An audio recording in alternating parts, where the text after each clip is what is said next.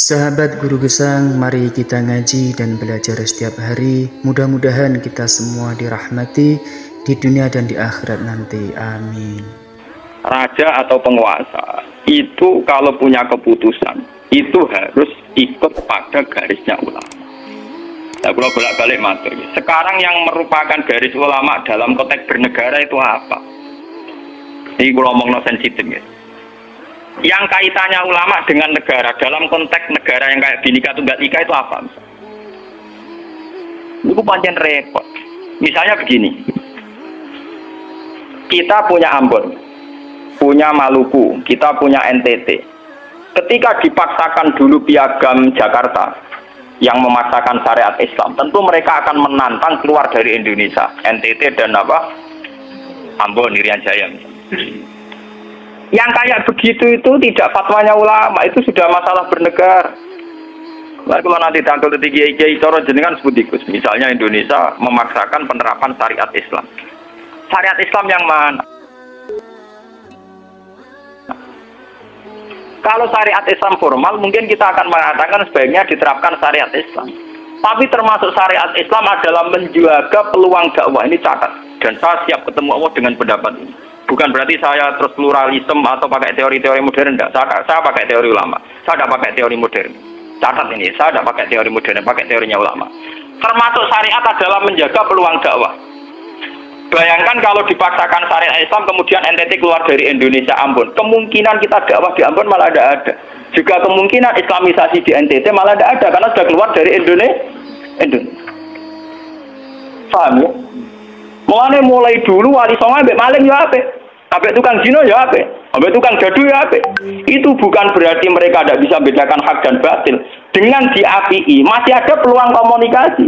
Dan dengan ada peluang komunikasi, ada peluang dakwah, ada peluang pembenar, pembenar. Sama dengan utuhnya NKRI NTT bagian dari Indonesia aja iso kiai rapai kok rukun buak rono NTT. Ben dadi kia. Ya. Lho kanca kula ne pondok dhisik ra kanggo ini ran kiai provinsi lah. Wingi sowan kula ngajak pangdam berarti. ya Allah Gus kula munggo ning sarang kiai RT ora payu ning kono kiai provinsi. Lho wingi sowan kula niku sowan numpak sahabat bareng sinten? Pangdam. Sani kemun gawe yayasan gawe sekolah tinggi lah. Jadi rektor saya gitu. Wadah buta huruf ora ora roh. Wong sak urip-uripe ngaji mek kula-kula ora tenan bodorane ora tenan. Saya bakasane mbek napa? Pangdam. Mergo ketika ada kerusuhan di sana, mesti tokoh agama diundang, diundang pangdam. Dan ini termasuk mewakili tokoh eh lah provinsi levelnya napa?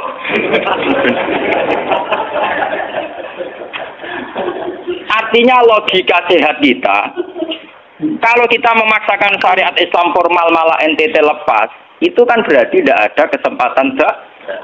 Toh dengan tidak lepas, toh kita bukan berarti tidak ingin dakwah, kan tetap ingin apa? Makanya bojo ngecewa nolai kok pegat. Nak rabuk pegat, ada kesempatan dan dan ini kena uang raiso.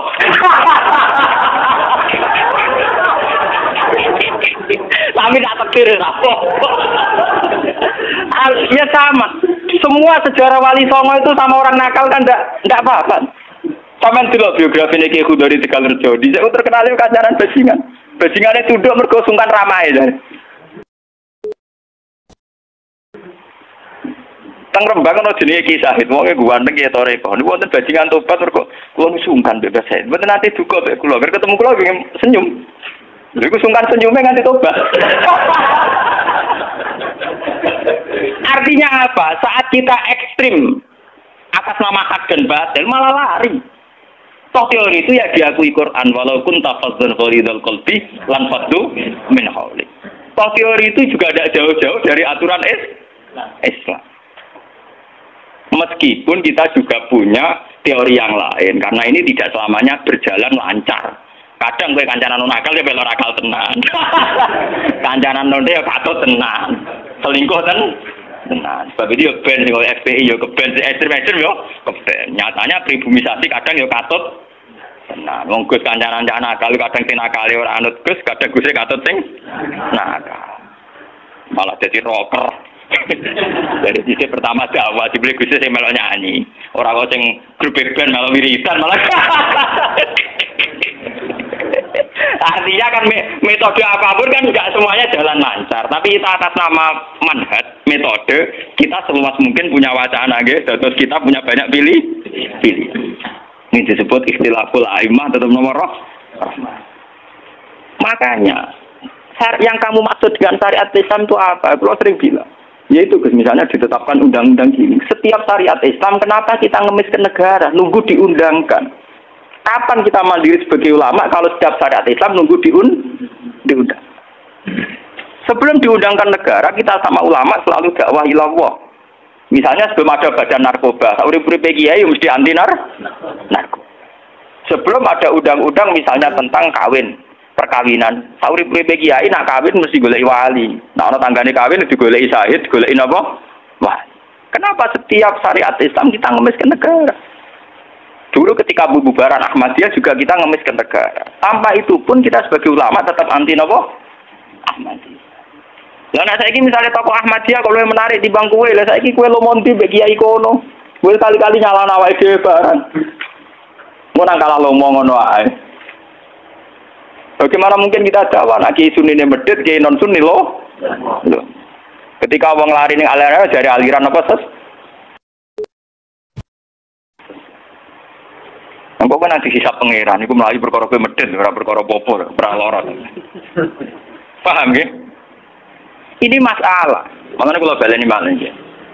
Syariat Islam itu komplit termasuk aturan hak dan batil tapi juga aturan dak dakwah. Makanya kalau terima kasih ya, sama ulama-ulama sekarang. Itu sekarang ada rumus, ada fikhul ahkam, fikih yang menentukan hukum. Ini haram, ini halal, ini mubah, ini khilafil awla.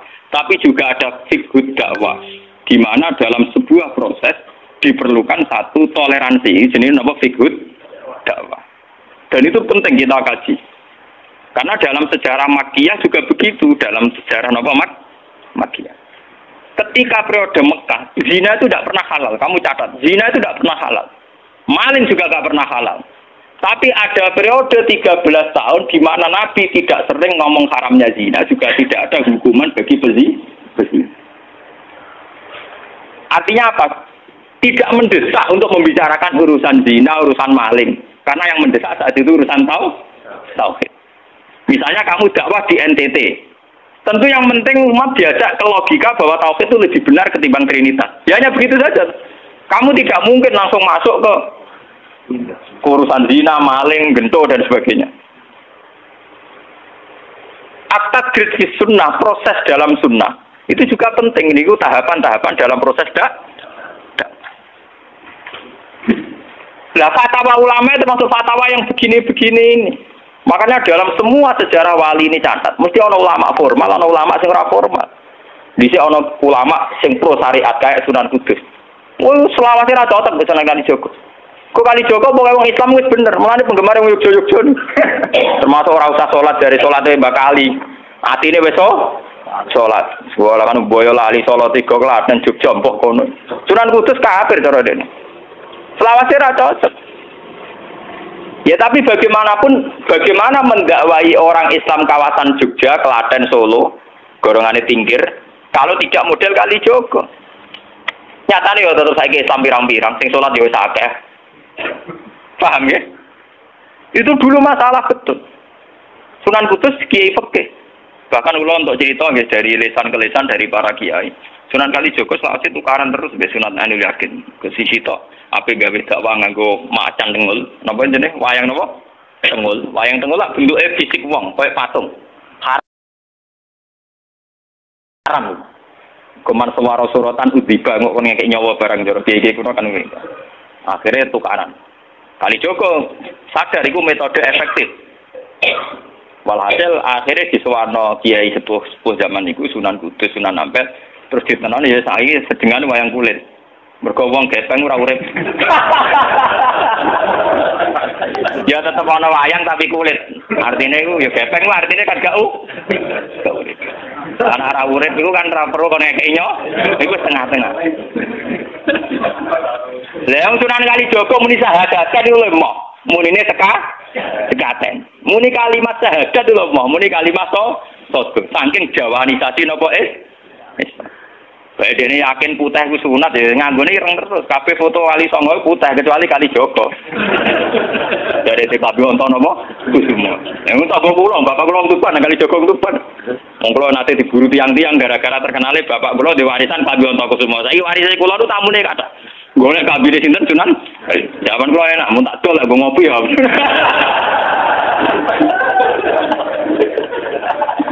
Mau aku barang apa tiba didol gue ngopi. Hmm, sing duwe aku terserah kula. Oh, ngenyawang dengan wong alim di siapa bakat ono gue semua. Apa ya, Mulai dulu Abu Yazid Al Bustami juga begitu. Mesti ada ulama yang di kampung-kampung. Sama tak ceritain ya, biar ulama syariat tidak terlalu ekstrim. Zaman Sayyidina Umar jadi khalifah. Khalifah resmi, khalifah resmi yang ditunjuk para sahabat. Dan saat itu belum banyak konflik. Yes, belum banyak apa. Itu Sayyidina Umar mendapat amanah dari Rasulullah Shallallahu Alaihi Wasallam. Umar, saya punya umat. Dia adalah orang terbaik di zamannya. Ini saya punya umat, dia adalah orang terbaik di zamannya. Namanya Uwais Al-Qarni. Kalau kamu ketemu dia, salamku untuknya. Dan kamu harus minta doa supaya Husnul Khotimah. Terus Umar, pakai Fabi. Pulang ngertosis sepundi. Dia ini penyakit baros. Fa'ad habahuwah ilamu di adirham. Walhasil nih gue katifil esar ada bekas penyakit baros tinggal tak nopo sakoin gitu. Terus ini apa? Sakoin. Ini kalau cerita. Dia punya ibu sendiri hidup di kampung Angon Wedus. Walhasil Umar tiap ono tamu ya diblodori.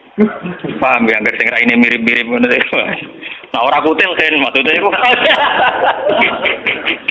orang mau diatur. Mboten ini kalau cerita, ben sampean ngerti. Walhasil akhirnya suatu saat itu rombongan Wes Al dari kurun Al Qarni. Niku sowan Sayyidina Umar. Ketika ketemu sesuai sifat itu, Sayyidina Umar nangis di. Wes Al-Qarni buatan purun. Walhasil akhirnya yang memerintahkan ini Rasulullah. Riwayat Al-Qarni purun nangis terus ditunang. Lalu sing antik apa? Sayyidina Umar tanya, Ya Uwais, saya ingin waktu supaya kamu mau ketemu saya. Tidak ya Umar, ini harus pertemuan terakhir. Ini harus pertemuan apa? Terakhir. Walhasil semenjak itu tidak ketemu lagi sama Umar. Artinya apa? Dan itu saya yakin, sama tidak usah anut kulo, keduren anut makom kulo. Dan siku sama mesti rawani. Artinya begini, ketika orang dengan izzatil Islam, ini catat betul. Misalnya wong jadi kiai gede, kados kiai kulo misalnya kiai Memun, kados Hasim Muzadi, kados Gusdur, kayak kiai besar. Jangan-jangan nikmatnya jadi kiai besar oleh umat loh, oleh umat tidak oleh mereka ya jangan salah paham. Oleh umat ditafsirkan wajar kalau mereka senang jadi kiai, di mobil memang di duit akhirnya pengaruhnya gede. Misalnya Habib Lutfi orang-orang punya pengaruh kayak Hamid Pasuruan umat. Artinya apa? Mereka aku yakin mereka orang-orang soleh yang bisa nikmati keberhadiran Allah Subhanahu. Tapi umat tetap membaca mereka bagaimanapun ada fasilitas. Umar sebagai khalifah punya pengaruh, punya uang, punya otoritas. Bagaimana dengan fakta bahwa Islam juga mengajarkan orang hanya nyaman hanya satu dengan Allah dengan kebenaran. Tapi dengan percontohan orang-orang kayak Wes Al maka Islam utuh. Ada penjaga syariat kayak Sidina Umar, Habib Lutfi, Ki Memun, Ki Hamid Pasuruan. Orang-orang jadi sentral. Cara teori sosial jadi mercusu, war. Tapi ada orang-orang yang menunjukkan bahwa dia bisa bahagia hanya dengan kebenar, kebenaran. Paham ya? Akhirnya umat kan enak. Lu kasus kulo nu ngrasakno tenan. Kulo nu nganti saiki rong tau jeneng imam masjid. Padahal imam itu sungkan. Kulo nggih mboten nate pidato. Kulo nggak iso ya sing pasar be anak kulo dhewe kan mboten mboten ngajak ngawal. Saya tunjukkan kepada umat bahwa ajaran Islam yang sebenar yang bisa membahagiakan adalah senang pengiran titik. Dan kewajiban dasar dalam Islam wong rumah tanah. Soal pengaruh aku, loh saya ngomong ini jujur loh. Saya punya pengaruh kalau ngaji ngaji saya banyak. Tapi saya tahu betul yang kewajiban pada saya yang hakiki hanyalah saya pada anak saya awaladin soleh. Tahu nona kasus bakas santri. Rabi habli miladung ka zuriatan toibah ora ono tulaban. Ora ono ning Quran hadis bakas santri. Ketok tangan nonton.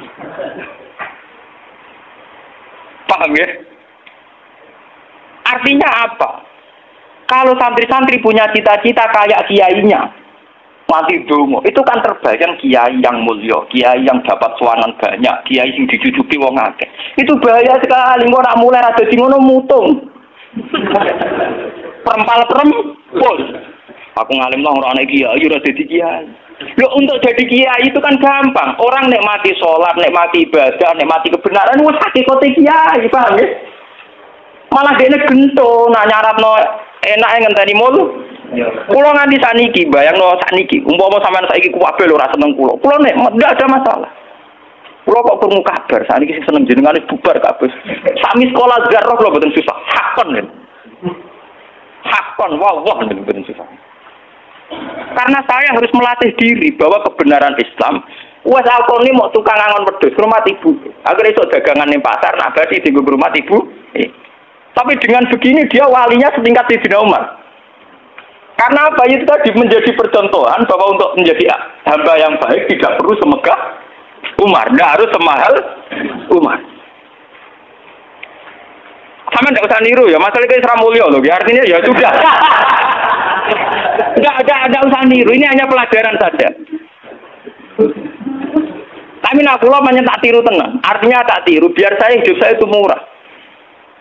Tanyakan istri saya. Pulau sering kode bujuk pulau. Dek aku nak mati, langsung bener. Masa ngenteni gigi gede, pakai kuburan jeruk terus bener. Yo ya rasa ngundang uang, yo ya rasa disolati. Nah anakku nih ngomong kan nyolati, nak orang yo. Oh, mau rasa repot. Karena saya tempat tepung kata, ini jelas sudah urusan dengan saya. Yang penting aku kepengen so anakku nyolati. Dengan demikian kita biasa jadi kiai yang muda. Aku muda bahagia karena punya anak, seneng anak sudah. Coba kalau saya menargetkan bahagia ngenteni umat yang banyak, ngenteni loyale ra genti ning kiai liya, partai ini ora genti partai tokoh liya. Loro ati, paham ya? Wes loro ati ra bener cara penge.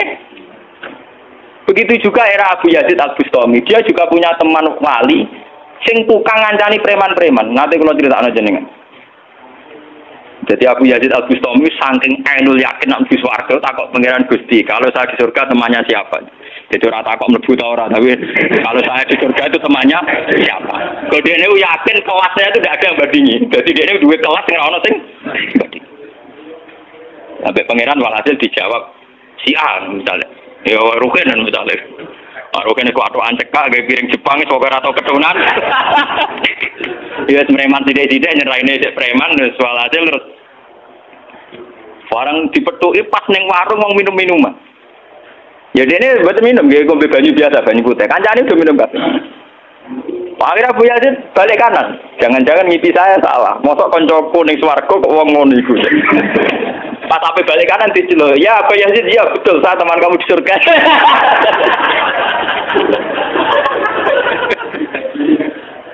Akhirnya tak agak Abu Yazid. Saya umpu iku walim kelas atas. Kok kelakuan ngono? Kulo ngancani wong minum-minum niku dalam proses dakwai mereka itu separuh tak tobat. Sing separuh kasih jenengan meriang. Awalnya itu meriang wali resmi kon nobat wong mereka. Jadi gampangane umat Gus Mek tekan mimpin Hasim. Muza. Paham ya? Wafi aja terus ngetono wali ini. Iya. Umatem kon delok raiku. Nak ora tobat tujuh udang Abu Yazid. Gelalang. Hei umatku itu seorang wali Abu Yazid. Lihatlah wajahnya. Langsung tobat kabeh. Karena alamat kiai nek tau nobat no wong. Ana kiai kok ora tau nobat no wong, ora ana wong sing tobat krana wajahe ta suarane ora pati kiai. Paham ya? Ora pati napa? Hmm, tugas kiai nobat no wong ora ana sing tobat malah kepelayon. Iku ora pati napa? Artine dia nyaman tenan. Ya kadang gitu bisa wong kadang macam-macam rasa-rasa. Nah, kalau pasar biasa bisa wong gitu biasa. Ya kadang ngerti sesuai ngerti nek iku putrane bapak. Wong iki sepuro iki kula biasa. Nang kula boten biasa, boten apa-apa. Nang biasa. Wong kula nate kula nate saran termasuk kiai. Wong nate ngebis mau dipukuli tiang mergo ngrasa luwih kiai di bangku. Anak kula nang bodoh saran ngalim ngeten-ngeten. Padahal kula guru le. Wah, mata Wah, saking awam kula maksudnya karena saya dipil ngajak anak kula ya gue jajan sitok guyon be anak kula itu wong awam cekek. Situ bukan apa, bukan saya apa, untuk menjaga itu. Bahwa khazanah Islam itu ada tokoh formal kasih Sina Umar, Nabi Musa, kayak Kiai Memun, Habib ya siapa? Kalau di sini mungkin kados kados Kiai Nawawi banyak Kiai Kiai, enggak apa-apa, itu harus kita jaga, kita hormati. Terus Mbak Nawawi, Mbak Munawir, Mbak Arwani kita hormati. Tapi jangan lupa Kiai Kiai Humul ini juga menjaga stabilitas agama. Dan itu di Wali Songo dicontohkan anane Sunan Muryo. Sunan Murjo itu satu-satunya sunan yang mau kumpul uang, memilih kuburan ya dua gunung angel ra karuan. Artinya kita ini harus kaya sekali dengan hajana-hajana perilakunya para orang-orang so. Tapi kenapa kamu milih soleh-soleh yang duwe? Jangan-jangan kowe wis kriminal, Pak. Wong aku sing alim ora milih soleh sing ngono kok kowe ora ngalim kok milih soleh sing duwe akeh pengaruhe. Mana kula nu sakniki nu sumpeng kan. Urip kula wis final. Kula nganggep urip kula pun final. Mana dari bujuk kulon kok tidak kula mati. Kulon menganggap urip kulon final. Artinya saya itu sudah menganggap Islam itu final. Umpama aku Islam itu kelebihannya kan gitu. Umpama dewean ya nyaman, kumpul uang ya nyaman, tengah-tengah ya napa? Nyaman. Mulane dari hikam ketika mendidik humel. Bagaimana saya butuh orang saat saya lahir juga sendiri. Kok aku ketemu pangeran dihisap ya sendiri. Kok ning jero kuburan ya sendiri. Aku tanggung jawab dengan pangeran sendiri. Kok aku dipendem ya sendiri. Aku pas lahir ya sendiri. Aku pas mati ya rohku dicabut ya sendiri. Kok aku butuh wong lho apa? Tapi sekarang manusia semenjak ada teori ilmu sosial itu kulino didikte betapa pentingnya pengaruh relasi dari jaringan. Wah, teori bulat kok mbok not. Paham ya? Pembulatan teori ngono apa? Saat ini rembang kados ngeten iki rame-rame badhe pilkada. Wah, akhir kiai disowani kandidat-kandidat. Lah niku kandidat kula niki untuk bocoran. Paling sumpek nafsu jenengan. Wes kabeh kandidat takok, takok toko-toko arah-arah kasil. Padahal cara kula disowani nggih buron, tapi kita tahu kula luwih nikmat tak dolaran mbek anak kula. Kita kandhani asisten. Ya ora apa-apa rene, tapi aku ora janji ketemu. Pokoke pas dolaran mbek anak tak di sini anak. Muga cara Quran niku bupati mbek anak iku dibakati hubungan hubungane wong tua kok mbek napa? Mbok kowe bupati dolan apa tau dolan mbek anak menang anakku. Aneh lho Gusti. Ora aneh banyak ngono cara Quran dibakas wa anak. Ning Quran dibakas kewajibane wong tua mbek napa? anak la tudara walidatum biwaladiha wala mauludu lahu biwala di engko nek mati la matabnu adam ing kota amaluhu engko termasuk ya awaladin salihin Nabi-nabi susah ya Rabbi habli miladunga dzurriatan taibah Ora, iku ilmu-ilmu kiai-kiai anyar sing nuruti nafsu ono pentingnya relasi, jaringan macam-macam. Ya memang penting, habli minanas itu penting, tapi sepenting-pentingnya itu masih penting sing berdoain rupane a malah kadang ngamu anak. Aku ning jopo dihormati kuwi anakku malah ora hormat aku. Lah nyai ning jopo be anak ora tau ayo. Paham ya? Abek tamu ramah anak disentak. Dolen. Paham ya napa doh? Dolen. Mesti yang anak ora pasti taat. Wong anake sering disentak demi wong li. Wes kali-kali wong liya disentak demi anake. Bareng anak era hormat, wah aku ning titi dihormati malah anakku dhewe ra. Salah itu. Lu kalau nganti saat ini sore anak kula tajak biak nganti saat ini.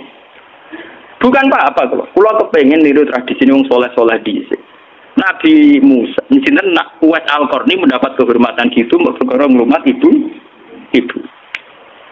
Kanjeng Nabi sering cerita, ono wali sing nak sowan wong ditolak, iku dadi wali mau perkara ngrumat anake kanjeng.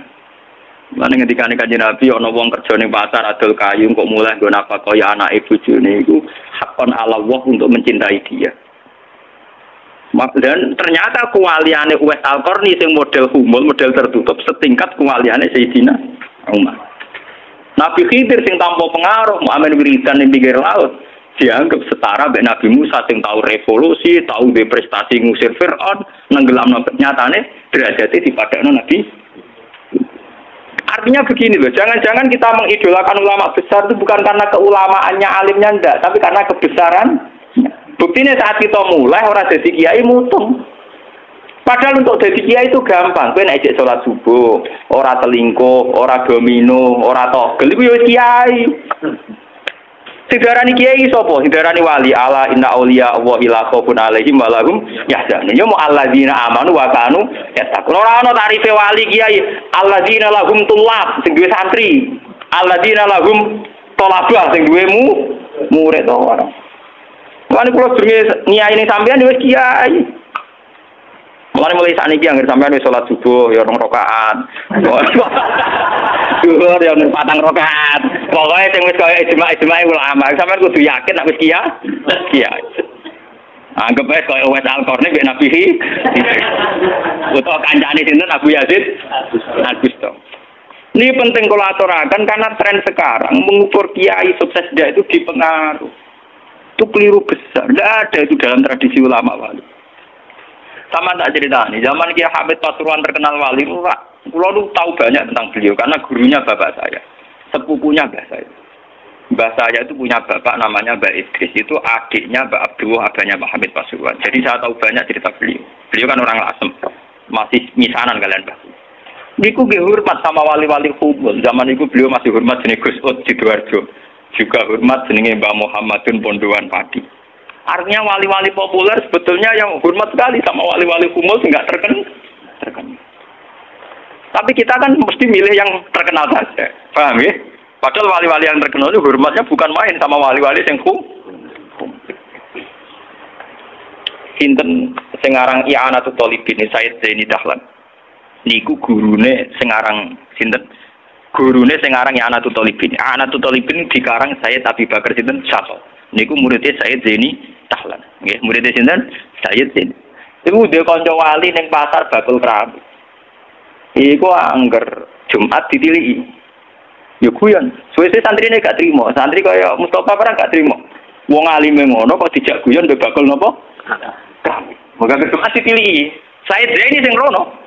Jadi kok, wong ngotot jangan tidak itu. Iku kancaku ae. Wong sing ilmu banding aku ya wong iku. Mikir murid. Ya iku Jumat berikutnya, Sitil Imna wis ra ono. Mau sempat misoi saya ini. nanti aku. ketika ada orang gitu. Imam Syafi'i gitu. Imam Syafi'i itu orang alim kaliber. Dia itu kalau istihad hukum kok belum dikomunikasikan dengan Saiban ar itu belum mantap. Imam Syafi'i itu mujtahid hukum, tapi kalau dia ragu, itu ngenteni kancane jenis Saiban Arro itu kan angon wedhus ning desa. Wah, itu nek dikomunikasekno niku mantep. Dan itu mungkin setiap zaman mesti mungkin. Nah, kalau nu ngalami, kalau kan sering teng pasar, ono mobil lah mau mandek. Ya, nanti kalau nggak biasa pakai hukum. Nah, cara wong sirar ro, kalau numpak dokar, cara nggak ro kan wong numpak dokar dihormati wong numpak mobil. Tapi perasaan ini numpak mobil kan tetap ngakoni kalau wong alim. Angkulo nu nate badhe teng pertelon iki kisah nyata. Nggih teng pertelon badhe bebal ngenteni mobil. Ya ana sing roh nak kula, Gus ana sing ra roh walhasil. Wonten mobil iki ai gede mandek wonten kula. Mboten sarang kula. Ya wong jangkat. Itu mungkin dan itu menjaga peradaban sehingga yang besar tidak angkuh mergo ana kiai-kiai sing kumul. Cuma kula niku rapati sukses. Mari sing muncul-muncul niku mari ra jelas bareng itu bagus itu untuk menjaga energi syukur. Biar orang itu syukur jadi kiai tidak gantung pengaruhnya banyak. Nggak gantung punya santri banyak. Tapi nyaman jadi kiai karena ngugemi kebenaran. Meyakini apa? Kebenaran. Dan ini penting kalau aturakan lalu kulo nganti saat ini kepengen cuma arah sukses. Artinya kayak kulo nanti tetir tetap murid. Jadi pengaruh tapi mas. Lo gue tamu ya rapati hormat. Kulo bek wong ya rada angel aneh tapi untuk takdir ya. Kata takdir. Sebenarnya itu tidak pilihan saya ya. Artinya tidak pilihan. Tapi ini perlu kalau aturakan biar khazanah khazanah Islam sing NTT teng Ambon itu masih. Kalau nanti diceritani ya zaman Khalifah Harun Ar-Rasyid niku setiap begundal dibuat teng fak-fak. Teng Irian apa? Jaya. Sama seperti Inggris orang-orang nakal dibuat teng Australia niku nak dirunut dia ada ada misi dakwahnya. Ternyata dari Irian itu turunan Arab tuh banyak. Sehingga ada Islam teng Irian nanti dok Timur Leste. Yang dulu masih Timur Timur. Nih PM Timur dia nak namanya Martin apa? Al Qadir ini pak turunan apa? Arab. Wong Timur Leste kok tahu di WPM turunan Arab. Ini berko zaman Sinten? Harun Ar-Rasyid. Ini begudal-begudal dibuat fak apa tentang ini anak terusnya termasuk tokoh-tokoh sing teng putih, teng timur leste, teng putih. Ini wonten sejarah.